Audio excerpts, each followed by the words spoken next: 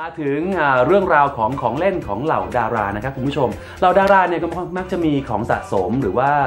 ความชอบในสิ่งของที่แปลกๆกันอยู่แล้วนะฮะหลายๆ คน พอไปหยิบไปจับอะไรปุ๊บก็ทำให้ของเล่นชิ้นนั้นๆ หรือว่าของเล่นประเภทนั้นๆนั้นเกิดเป็นกระแสฟีเวอร์ แล้วก็ดูมีค่ามีราคาขึ้นมาทันที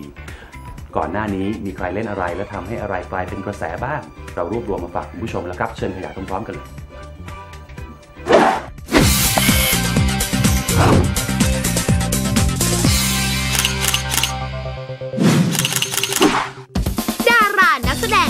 คือบุคคลที่หลายคนติดตามเลียนแบบ และทำตามค่ะ ดังนั้นเมื่อดาราหยิบจับอะไรก็สามารถฮิตและกลายเป็นเทรนด์ได้ วันนี้เราเลยขอยกตัวอย่างของเล่นที่เหล่าดาราเขาหยิบจับมาเป็นเจ้าของจนทำให้เกิดกระแส fever และฮิตตามขึ้นมาแถมราคาก็แสนจะแพง อย่างเช่นตุ๊กตา Blythe ตุ๊กตายอดฮิตของเหล่าคนดังเมื่อ 5 ปีที่แล้ว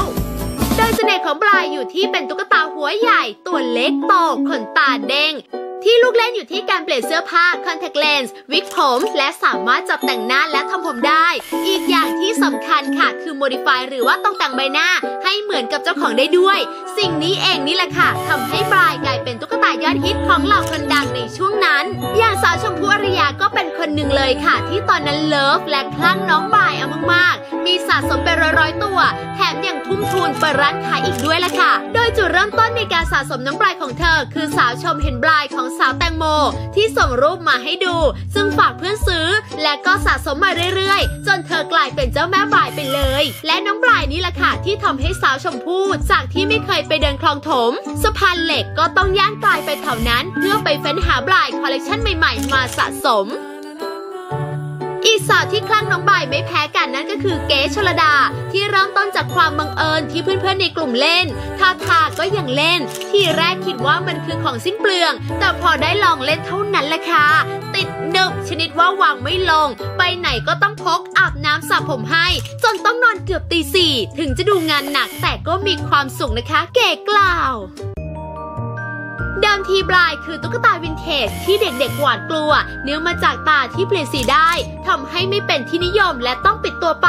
และใน 30 ปีต่อมา Blythe ก็กลับมาได้รับความนิยมอีกครั้ง จาก Gina Garan โปรดิวเซอร์สาวอเมริกันที่เธอได้ถ่ายภาพ Blythe ในสถานที่ต่างๆ เก็บไว้กว่าร้อยรูป จนถูกตีพิมพ์เป็นหนังสือรวมภาพถ่าย ชื่อ This is b r i d รวมถึงหนังสือ Firecracker Alternative Book ที่ขายได้กว่า1 0 0 0 0แสนเล่ม และจัดนิทรรศการแสดงภาพถ่ายที่ทำให้ชื่อของจีน่าแกลเลอรี่ดังไปทั่วโลก หลังจากนั้น Blythe ก็ถูกซื้อลิขสิทธิ์มาที่บริษัทในประเทศญี่ปุ่น และได้เป็นพรีเซนเตอร์ให้กับห้างสรรพสินค้าดังทำให้ Blythe กลายเป็นที่รู้จักและโด่งดังในชั่วข้ามคืน ส่งผลให้ราคาของ Blythe แพงขึ้นตามลำดับค่ะ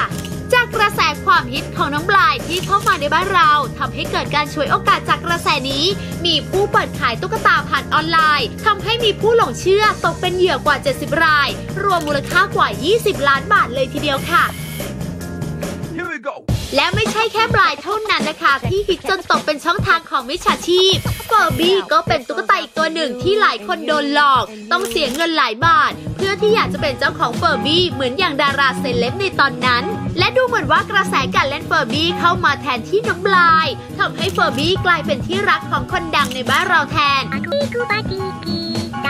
เริ่มต้นจากดีเจเจแหม่มที่แฟนคลับหิ้วมาฝากจากฮ่องกงก่อนที่เจแหม่มแกจะโพสต์ภาพขณะเล่นเฟอร์บี้กับหลานๆเรียกว่านำเทรนด์แบบสุดๆในตอนนั้น และก็มาถึงนางเอกสาวผู้นำเทรนด์ไม่แพ้ใคร อย่างสาวชมพู่อารยา ที่เคยสร้างกระแสตุ๊กตา Blythe fever มาแล้ว จะเริ่มนำเจ้าเฟอร์บี้มาเผยแพร่และเริ่มเล่น ซึ่งระดับเจ้าแม่แฟชั่นอย่างสาวชมก็ไม่ยอมเลี้ยงแบบธรรมดา แต่งหน้าแต่งตาใส่เครื่องประดับให้เจ้าเฟอร์บี้ออกมาเลิศไม่ซ้ำใครเลยทีเดียว นอกจากนี้สาวชมพู่อารยายังได้เหมาตุ๊กตาเฟอร์บี้มาอยู่เป็นเพื่อนกัน พร้อมทั้งแนะนำให้เพื่อนพ้องในวงการได้รู้จักความน่ารักของเฟอร์บี้แถมยังช่วยเป็นธุระจัดหาให้อีกต่างหากทำให้กระแสความนิยมในตัวเฟอร์บี้ hot ขึ้นทันตาเห็นทำให้ดาราเหล่าคนดังมากมาย ต่างอยากได้และรีบหามาเลี้ยงกันในทันที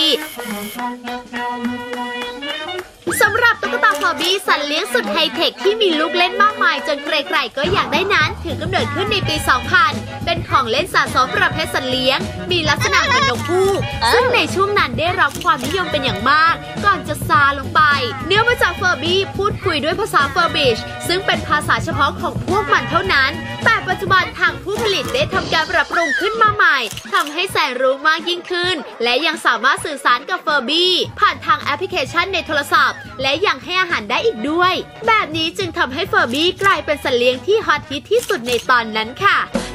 แต่แล้วก็ถึงเวลาของเฟอร์บี้ที่ต้องไปอยู่ในตู้ข้างๆของน้องปลาย อยู่กับฉันนานๆนาน